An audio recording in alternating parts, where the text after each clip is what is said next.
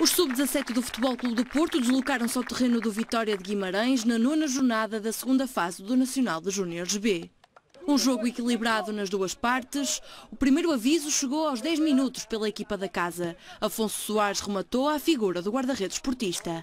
Aos 26 minutos, novamente o Vitória tenta chegar perto da baliza dos Dragões. Gonçalo Pinto tenta o remate, mas João Sérgio apareceu no sítio certo e evitou o perigo. Aos 28 minutos, o árbitro assinala a falta de Tiago Antunes sobre Lourenço Teixeira e atribuiu grande penalidade à equipa da casa.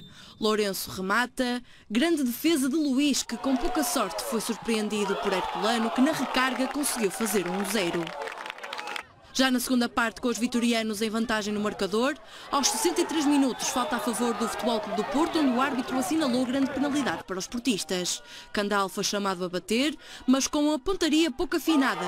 A bola acabou mesmo por bater na trave. A resposta portista não tardou. Logo ao minuto a seguir, João Seixo assiste o Úmaro Candé, que de cabeça fez o empate.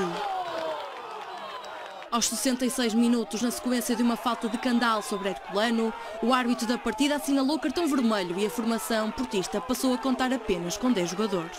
Já no fim do jogo, o Futebol Clube do Porto continuava a insistir e aos 84 minutos, Porfírio cruza para Lucas Gomes, que tentou a oportunidade de golo, mas a bola acabou a sair por cima da baliza do Vitória. Empata uma bola em Guimarães, os sub-17 do Futebol Clube do Porto preparam agora para defrontar a Boa Vista, na décima jornada do campeonato. Primeiro contra o último classificado da segunda fase do Nacional de Júnior C no Olival. Os sub-15 do Futebol Clube do Porto entraram melhor e podiam ter chegado ao golo neste cabeceamento de Luís Gomes. Valeu a defesa de Leandro Moreira. Tentou reagir o Passos Ferreira de bola parada, mas foi assinalado fora de jogo neste lance a Rafael Pinto. Aqui foi Afonso Souza a entrar na área, mas depois a permitir mais uma excelente intervenção ao guarda-redes dos Castores. Ele que foi uma das grandes figuras da partida, como se pode ver neste lance de Tiago Campas aos 23 minutos. Antes do intervalo foi Dinis Rodrigues a ver o seu remate desviado da baliza pelo central Xavier Moreira. Estavam melhor os portistas, mas faltava o golo. Leandro Moreira, mais uma vez, a não querer deixar entrar os remates de Afonso Souza, primeiro, e de Luís Gomes, a seguir.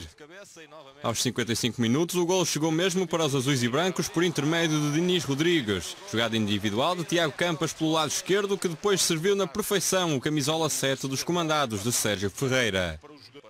O 2-0 surgiu pouco tempo depois através de Rodrigo Malheiros, que tinha entrado na segunda parte. O avançado esportistas a aproveitar a segunda bola na área e a beneficiar de um desvio num jogador paciente para fazer o segundo golo. A partir daí os Dragões controlaram o jogo, sendo que o Passos ainda teve este lance perigoso com Gonçalo Lissa a ceder canto. Já na compensação, Gonçalo Bastos fez o 3-0 com este excelente cabeceamento. De cima para baixo, como mandam as regras, gol à ponta de lança, sem hipótese para o guardião paciense. Mas ainda houve tempo para o 4-0 final, o bis de Rodrigo Malheiros. Passe para as costas da defesa e depois o avançado a tirar o guarda-redes da frente e a estabelecer o resultado final. Vitória do Futebol Clube do Porto no início da segunda volta do campeonato, a quinta consecutiva.